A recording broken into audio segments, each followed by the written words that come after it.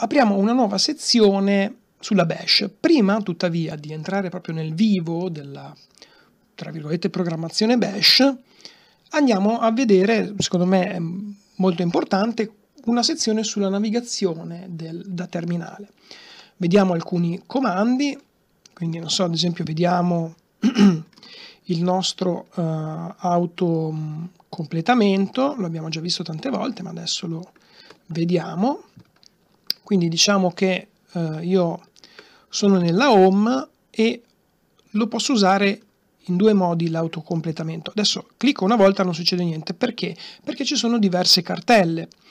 Allora, se io clicco due volte, lui mi fa vedere le varie alternative che io ho a disposizione. Ok. A questo punto io posso scegliere, qui ad esempio se scegliessi pubblici, scrivo PU, a questo punto clicco Tab una volta sola e lui me lo autocompleta in automatico.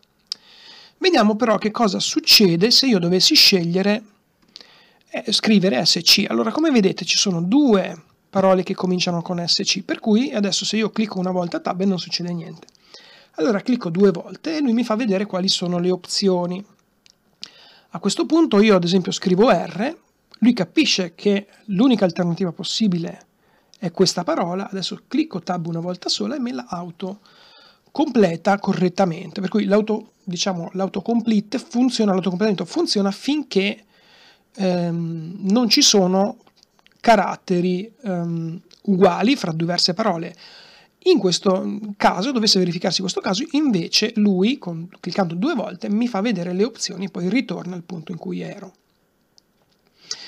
Poi andiamo a vedere uh, altri esempi, per cui ad esempio CTRL A e CTRL E si spostano rispettivamente all'inizio e alla fine del, um, della riga. Quindi sposta il cursore, CTRL A uh, va indietro e CTRL E alla fine. Poi CTRL B e CTRL F, back and forward, vanno avanti e indietro di un carattere per volta, quindi back 1, forward 1 per volta.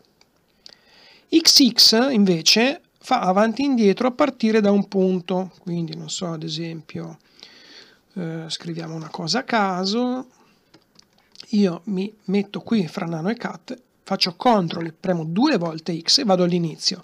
A questo punto scrivo, so, ad esempio sudo, quello che voglio, ripremo due volte X e torno nel punto in cui ero prima. Okay? Quindi serve proprio a fare questo tipo di cose.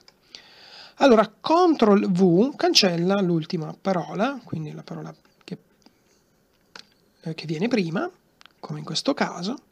CTRL U invece cancella tutto quello che c'è prima del cursore, ecco qua un esempio. CTRL K invece cancella tutto quello che c'è dopo del cursore.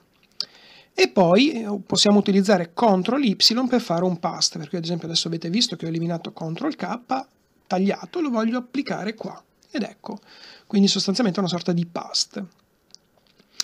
Poi CTRL più e CTRL meno, li abbiamo già visti anche all'inizio della lezione, fa l'ingrandimento, la riduzione dei caratteri, molto utile. CTRL C invece fa un break del processo, quindi esce, diciamo, sostanzialmente da questo. CTRL L fa un clear del terminale e per finire questa lezione CTRL D fa il logout, quindi esce, quindi CTRL D è l'equivalente di scrivere logout e lui esce.